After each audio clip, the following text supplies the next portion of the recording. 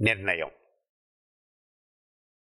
ఏదైనా సరే ఒక పని చేసేటప్పుడు ఈ పని చేయటం వల్ల మనకి లాభం ఉందా నష్టం ఉందా? పని చేస్తే ఉపయోగం ఏమిటి?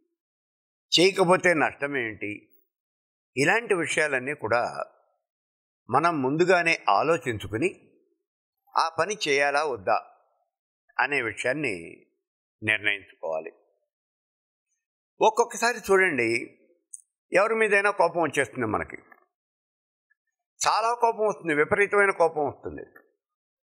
వెంటనే చెప్పేస్తాం నేను బతిగుండంగా మళ్ళీ నీ మొహం చూడను అని అంటాం మనం. అయిపోయింది మాట అయితే అనేసాం. కానీ ఇలాంటి మాట అనేసిన తర్వాత అంటే ఇలాంటి నిర్ణయాలు మనం తీసేసుకున్న తర్వాత జీవితం చాలా పెద్దది. ఎప్పుడు ఏ అవసరం వస్తుందో ఎలా వస్తుందో మనం ఏం చెప్పలేం. భవిష్యత్తులో ఒకవేళ అనుకోకుండా ఏదైనా వాళ్ళతో అవసరం వచ్చిందనుకోండి మనకి అప్పుడు మనం ఏం చేయగలుగుతాం? మనకి వాళ్ళతో అవసరం వచ్చింది. వాడి దగ్గరికి వెళ్ళి మాట్లాడగలుగుతామా? వాళ్ళ మొహం చూడగలుగుతామా? లేదు. మన మొహాన్ని వాళ్ళకి చూపగలుగుతామా? ఇలాంటివన్నీ చాలా ఇబ్బందులు వచ్చేస్తాయి. అలాగే ఒక్కొక్కసారి నేను ఈ పని చేస్తాను అని ఖచ్చితంగా చెప్పేస్తాం. ఆ పని చేయటం వల్ల మనకి లాభమా నష్టమా అనే విషయాన్ని చాలా జాగ్రత్తగా ఆలోచించుకుని మనం ఆ నిర్ణయాన్ని చెప్పాలి. అలా కాకుండా ముందు ఒక మాట చెప్పేసాం తర్వాత దానివల్ల మనకి నష్టం వస్తుంది అనే విషయాన్ని తెలుసుకుని కాదు కాదు నేను ఆ పని చేయనయ్యా ఏదో పొరపాటుని చెప్పేశాను నేను ఆ పని చేయను అని అన్నాం అనుకోండి. అప్పుడు ఏమవుతుంది? మన వాటికి విలువ అనేది ఉండదు. ఈయన చెప్పిన మాట మీద నుంచోడయ్యా కాబట్టి దాని గురించి మనం పట్టించుకోకర్లేదు అంటారు. కాబట్టి మనకు ఉన్నటువంటి వాల్యూ ఆ విలువ అనేది పడిపోతుంది. ఈ కారణాలన్నీ కూడా మనం దృష్టిలో పెట్టుకుని ఏదైనా ఒక నిర్ణయం తీసుకునేటప్పుడు చాలా జాగ్రత్తగా ఆలోచించి అలా నిర్ణయం తీసుకోవాలి. అలా కాకుండా కనుక నిర్ణయం తీసుకుంటే దానివల్ల వచ్చేటటువంటి సాధక బాధకాలు వీటన్నింటినీ కూడా అంటే ఆ కష్ట నష్టాలన్నీ కూడా మనమే అనుభవించాల్సి వస్తుంది ఇక్కడ ఒక చిన్న ఉదాహరణ చెప్తాను చూడండి. నాకు బాగా తెలిసినటువంటి ఆయన. ఆయన జిల్లా అధికారిగా పనిచేశాడు. ఆయన కుమార్తె. అమ్మాయి బీటెక్ పాస్ అయింది. మంచి ఇంటెలిజెంట్. ఒక కంపెనీలో ఉద్యోగం చేస్తోంది. ఇది జరిగి మూడు సంవత్సరాలు దాటింది. ఆ అమ్మాయికి ఆ రోజున నెలకి నలభై వేల రూపాయల జీతం ఇస్తూ ఉన్నారు మూడు సంవత్సరాల క్రితం. సరే సజావుగా కాలం వెళ్ళిపోతుంది రెండు సంవత్సరాలు ఉద్యోగం చేసింది. చేసిన తర్వాత ఆఫీసులో ఆ అమ్మాయితో పనిచేసే వాళ్ళు ఎవరో చెప్పారట. నీకు ఈ ఉద్యోగం సరి అయింది కాదు. నువ్వు గనక ఎంటెక్ చేస్తే ఇంతకన్నా నీకు మంచి ఉద్యోగం వస్తుంది. నీ జీవితం ఇంకా హాయిగా ఉంటుంది అని చెప్పేసి ఎవరో సలహా చెప్పారట. ఆ సలహా అమ్మాయికి బాగా నచ్చింది. ఇంకేముంది? వెంటనే ఎవరితోనూ చెప్పా పెట్టకుండా ఉద్యోగం కాస్త మానేసింది. ఉద్యోగం రిజైన్ చేసింది? నేను ఎంటెక్ చదువుతాను అని బయలుదేరింది. సరే ఇది బాగానే ఉంది. వాళ్ళ నాన్నగారు ఏం బాధపడ్డా అలాగేనమ్మా నువ్వు అట్లాగే చెయ్యి అన్నారు. అమ్మ ఇంటి దగ్గర కూర్చొని అప్లికేషన్లు పెట్టింది. సీట్ వచ్చింది. రెండు మూడు చోట్ల వచ్చింది సీటు. సీట్ రాకపోలా? కాకపోతే అమ్మాయి కలకత్తాలో చేరమని సీట్ వచ్చింది. నేను కలకత్తా దాకా వెళ్ళను. అలా కాదు నాకు ఇంకో చోట ఎక్కడో ఐఐటిలో సీట్ రావాలి అని అలా కూర్చుంది. తాను అనుకున్నటువంటి చోటేమో సీట్ రాలేదు. వచ్చినటువంటి చోట తను పోయి చేరలేదు. వచ్చిన చోట తనకి నచ్చలేదు. అందుకని తను చేరలేదు. ఫలితంగా ఇంటి దగ్గరే ఉండిపోయింది. సరే ఇలా లాభం లేదు. నేను మళ్ళీ ఎక్కడన్నా ఉద్యోగంలో చేరతాను అంది. ఉద్యోగంలో చేరతాను అంటే ఇప్పుడు మానేసినటువంటి ఉద్యోగంలోకి మళ్ళీ వెళ్ళి చేరలేదు కదా. అందుకని మళ్ళీ కొత్తగా అప్లికేషన్లు పెట్టుకోవడం మొదలుపెట్టింది. సెలెక్ట్ కాకపోలేదు. నేను చెబుతున్నదంతా అబద్ధం కాదు ఇదంతా అక్షర సత్యం ఇది. నిజంగా జరిగినటువంటి స్టోరీ చెప్తూ ఉన్నాను మీకు. అమ్మాయి ఉద్యోగాలకు అప్లికేషన్ పెట్టింది. ఒకటి రెండు చోట్ల ఉద్యోగంలో చేరమని వాళ్ళు ఆర్డర్స్ పంపించారు. కాకపోతే ఆ ఉద్యోగం అమ్మాయికి నచ్చల. చేరల. బ్యాంకులో ఆఫీసర్ పోస్ట్ వస్తే నేను చేరతాను అంది. చివరికి ఒక బ్యాంకులో ఆఫీసర్ పోస్ట్ వచ్చింది. వాళ్ళు బాంబేలో పోస్టింగ్ ఇచ్చారు. బాంబేలో పోస్టింగ్ ఇస్తే ఎట్లాగా నేను వెళ్ళను? ఇదే మాట చెప్పింది. బాంబేలో అయితే కష్టం కదా. ఇప్పుడు ఈ అమ్మాయితో పాటు ఇంకా ఐదుగురు ఆడపిల్లలకు ఉద్యోగాలు వచ్చినాయి. అదే బాంబేలో. వాళ్ళందరూ వెళ్ళిపోయి చేరిపోయారు. ఈ అమ్మాయి మాత్రం వెళ్ళాల. వాళ్ళు ఇచ్చిన గడువు కాస్త దాటిపోయింది. ఆ ఉద్యోగం కూడా పోయింది. ప్రస్తుతం పరిస్థితి ఏమిటి అంటే ఎక్కడ ఉద్యోగం లేదు. పోనీ చదువుకుందామంటే ఎక్కడ సీటు రాలేదు వచ్చిన చోట మనం చేరలేదు. ఉద్యోగం కూడా దొరకపోలేదు దొరికిన చోట మనం చేరలేదు.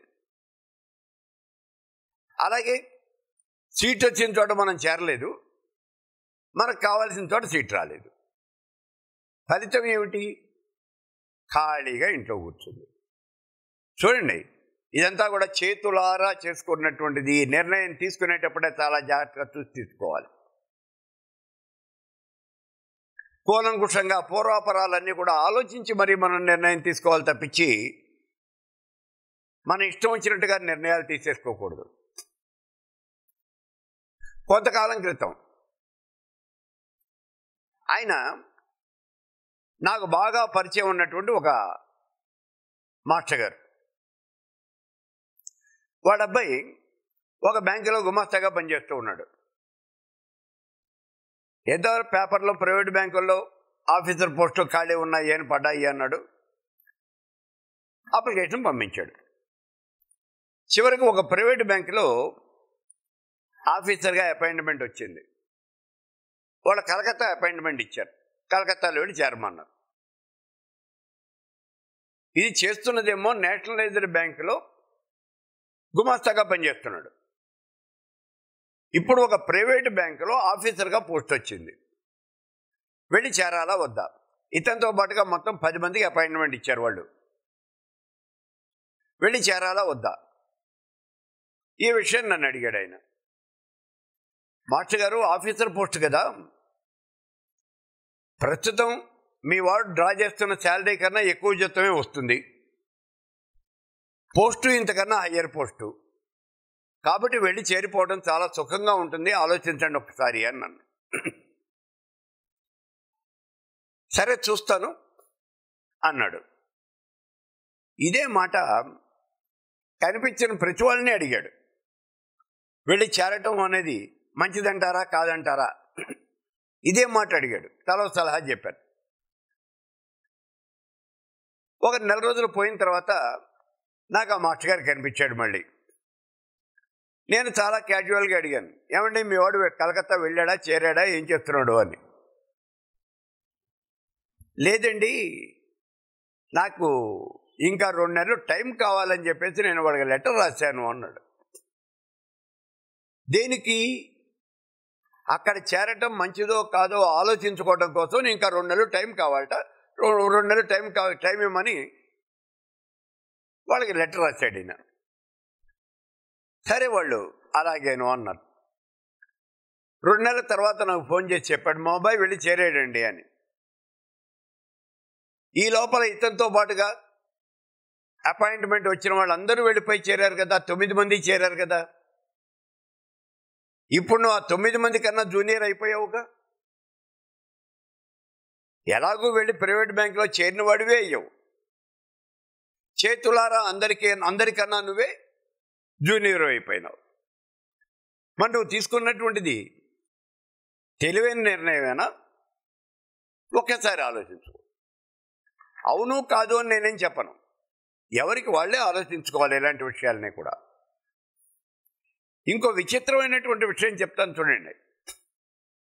పిచ్చుక.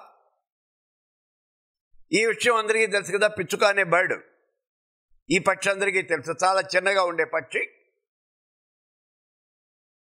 మనం తలుపులన్నీ వేసేస్తే కిటికీలోంచి వెంటిలేటర్లో నుంచి ఇంట్లోకి వచ్చి ఇంట్లో ఉన్నటువంటి సాలిళ్ళు ఆ గోడ మీద మూలన తిరుగుతూ ఉన్నటువంటి సాలిడ్ దాన్ని పట్టుకుని తినేస్తూ ఉంటుంది. అలాగే చిన్న చిన్న పురుగులు ఎక్కడన్నా ఉంటే వాటిని పట్టుకుని తింటుంది.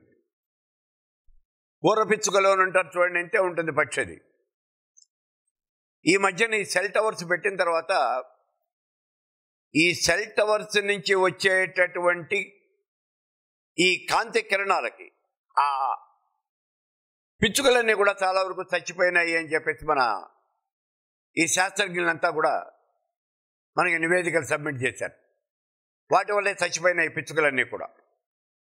ఇప్పుడు చాలా తక్కువ ఉన్నాయి. మన పట్టణంలో ఎక్కడ పిచ్చుకలు కనిపించట్ల ఇదివరకు బోల్డ్ కనిపించేవి. సరే ఈ పిచ్చుకలు పొలాల మీద ధాన్యపు గింజల్ని తినేస్తూ ఉంటాయి. అలాగే పంటకి పట్టినటువంటి చీడపీడలు పట్టినప్పుడు ఆ పురుగుల్ని తినేస్తూ ఉంటాయి ఈ పిచ్చుకలు. ధాన్యపు గింజల్ని తింటాయి పురుగుల్ని తింటాయి రెండింటిని తింటాయి. ఒక్కొక్క పిచ్చుక సుమారుగా సంవత్సరానికి ఆరు పాయింట్ ఐదు కిలోల ధాన్యం తింటుంది అని ఒక లెక్క. ఆరు పాయింట్ ఐదు కిలోలు సంవత్సరానికిట. అది అది తినే నుండి ధాన్యం. ఇప్పుడు చైనాలో. ఈ పిచ్చుకలు బాగా తిరుగుతూ ఉన్నాయి. వాళ్ళకి ఎందుకో అనుమానం వచ్చింది ఒక్కొక్క పిచ్చుక ఎంత ధాన్యం తింటుంది సంవత్సరానికి అని. వాళ్ళే లెక్క వేస్తారు ఆరు పాయింట్ ఐదు కిలోల ధాన్యం తింటుంది అని. దేశంలో ఎన్ని పిచ్చుకలు ఉన్నాయి ఏం లెక్క పెట్టారు? కొన్ని లక్షల పిచ్చుకలు ఉన్నాయి మరి ఒక్కొక్క పిచ్చుక ఆరు పాయింట్ ఐదు కిలోల ధాన్యం చొప్పున ఇన్ని లక్షల పిచ్చుకలు. ఎంత ధాన్యం తింటున్నా ఏం లెక్కేశారు? చాలా ధాన్యం తినేస్తూ ఉన్నాయి. దీనివల్ల మనకి ఆహార కొరత అనేది కూడా ఏర్పడుతూ ఉన్నది. దీంట్లో నుంచి మనం తప్పించుకుని బయటపడాలి అన్నారు. ఎలా బయటపడతాము అనే విషయం ఆలోచించారు. ఎవరో సలహా చెప్పారు ఈ పిచ్చుకల్ని బడుగు చంపేస్తే సరిపోతుంది కదా అని. నిజమే బాగానే ఉంది సలహా. అందరూ కూడా అవును అన్నారు. వెంటనే కనిపించిన పిచ్చుకని కనిపించినట్టుగా చంపేశారు. కనిపించకుండా కొన్ని మారుమూల ప్రాంతాల్లో తిరుగుతూ ఉన్నటువంటి పిచ్చుకలుంటే డబ్బులు ఇచ్చి వాటిని చంపించారు. వాటిని చంపితే ఒక్కొక్క పిచ్చుకని చంపినందుకు ఇంత డబ్బులు చొప్పున ఆ డబ్బులు ఇచ్చారు వీళ్ళు.